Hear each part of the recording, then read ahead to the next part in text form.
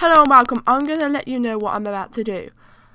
I will look at possible issues by going into control panel to see whether whether they need in uninstalling off the computer. If I need to, I will go to the official website to see if there's a newer version to download and install, and I will install the latest version if there is. I will check to see how well it runs. I would I would check to see if the graphics card has has any updates. I will also go into control panel to check updates to see if Windows 7 is fully up to date.